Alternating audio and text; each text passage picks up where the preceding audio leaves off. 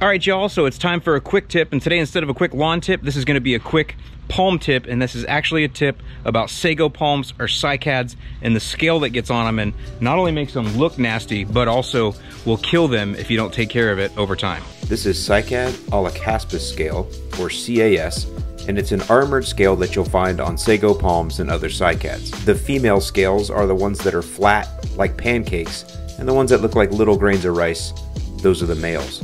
If left unchecked, these will kill your sago palms within a year or less. Here in South Florida, I usually treat them twice a year in late spring and again here in early fall using the method I'm going to show you today. So the very best way to treat for this type of scale in cycads is this product here. It's called Safari. Now, this is a very expensive product. When you see it, you're going to get sticker shocked but I'm telling you, it works. You need to do this twice a year. I'll do this in late spring and then I do this again in early fall. And this is down here in South Florida. So if you're somewhere a little further north where you get a winter that may give you some frosts or freezes, that'll help you in controlling these insects. But if you don't have that weather help, you're probably gonna need to do this twice a year. Okay, now the first thing is you wanna have some soil moisture present because you need this to get down into the roots and you also need to, the plant to be taking in thing, taking in moisture and other things from the soil. So you don't want to saturate them, but we've been five days now without rain, believe it or not. So we are putting, so I just want to make sure I have some soil moisture present. Okay, so here's what you're going to need. You're going to need a scale so you look like a proper drug dealer. Obviously you need your safari.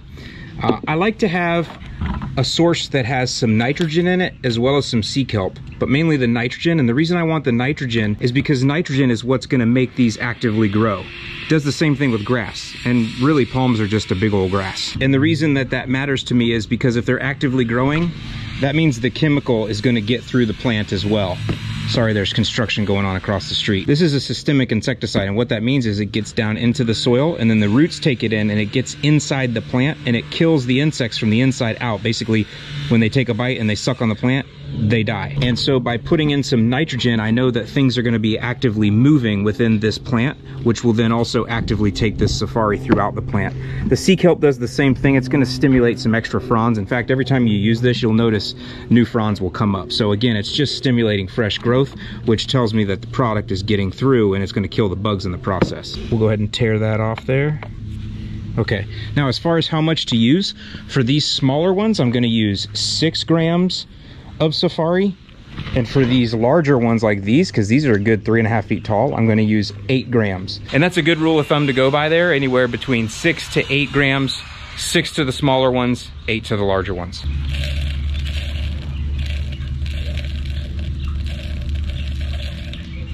There we are. Six grams, put that in my bucket. Put in a little water.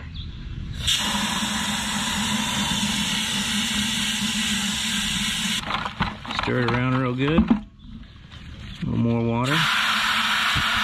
For this, we don't need a lot. Just four ounces is all we need for each palm. Doesn't take a lot to get the desired result we're looking for. Get that stirred around. You don't really need more than a couple gallons of water in here. Want to make sure Make sure it's good and agitated. After you do that, water it in a little bit. Doesn't take a lot of water again, just enough to get it moving down in there. And move on to the next one. So that's really it. Now, as far as how many can you get done, that 12 ounces there of product, if you do the math out there and you average it out, you're gonna get somewhere around 50 to 60 sagos done with one bottle of the Safari with one 12 ounce jug or bottle of the Safari. So I can usually have that last. Now I also use it on some of my larger palms and stuff. Those take a lot more, but if you're just doing Sagos, like I said, you can get well over 50 of these done with just one bottle. So there you go. I hope this has been helpful to you. For those of you that have Sagos or Cycads, I'm Allyn Hane, the Lawn Care Nut. Thanks so much for watching. Make sure you subscribe to the channel here for just quick tips, and I'll see you in the lawn.